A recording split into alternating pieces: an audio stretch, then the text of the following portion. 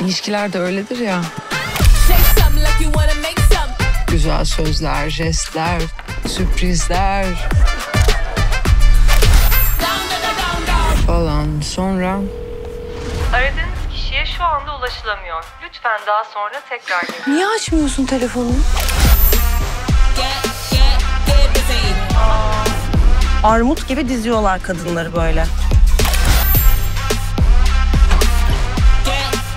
Gerçekten mi? Ex'ten next olmaz. Arkadaşız ayağına tekrar birleşir misin? Doğruluk mu? Cesaret mi? yalan söyledin. En büyük hata sensin. Ah nasıl düştüm ya ben bu tuzağa?